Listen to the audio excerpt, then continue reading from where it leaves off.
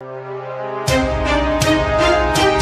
નમસ્કાર દર્શક મિત્રો. જ્યારથી હાર્દિક પટેલ ભાજપમાં જોડાયો છે, ત્યારથી લઈને અત્યાર સુધી અલગ અલગ વિસ્તારોમાં પ્રવાસ તો કરી જ રહ્યો છે, પરંતુ મોટા ભાગનો સમય વિરમગામ વિધાનસભા વિસ્તારમાં પસાર કરી રહ્યો છે. આ વિસ્તારમાં તે વિવિધ સેવાકીય પ્રવૃત્તિઓમાં ભાગ લે છે અને ભાજપનો પ્રચાર કરે છે. બે હજાર પંદરથી લાઇમલાઇટમાં આવેલા હાર્દિક પટેલને ધારાસભ્ય બનવું છે. ભાજપમાં જોડાતા સમયે મીડિયાએ હાર્દિક પટેલને સવાલ પૂછ્યો હતો કે ચૂંટણી લડશે કે નહીં? એ સમયે તેમણે એક જ વાત કરી હતી કે રામ સેતુની ભૂમિકા અદા કરશે અને ચૂંટણી લડવાનો કોઈ ઈરાદો નથી. પરંતુ હવે તેના તમામ ઈરાદાઓ ખુલ્લા પડી રહ્યા છે. ભાજપ સંગઠનના ટોચના વિશ્વસનીય સૂત્રો કહી રહ્યા છે કે આ વર્ષ બે હજાર બાવીસની ચૂંટણી દરમિયાન હાર્દિક પટેલ વિરમગામ બેઠક પરથી ચૂંટણી લડશે. ભાજપમાં જોડાતા વખતે હાર્દિક પટેલે પોતાની જાતને રામ સેતુની ખિસકોલી બનીને સેતુરૂપ ભૂમિકા અદા કરવાનો હેતુ જણાવ્યો હતો. પરંતુ એની પાછળ તે ચૂંટણી લડવાનો પોતાનો એક અલગ સેતુ ઊભો કરી રહ્યો છે. એ વાતથી સૌ કોઈ અજાણ છે, જે છુપો ઈરાદો છે, એ સિદ્ધ થવાનો સમય. વર્ષ બે હજાર બાવીસના આગામી સમયમાં યોજાનારી વિધાનસભાની ચૂંટણી છે. ધન્યવાદ.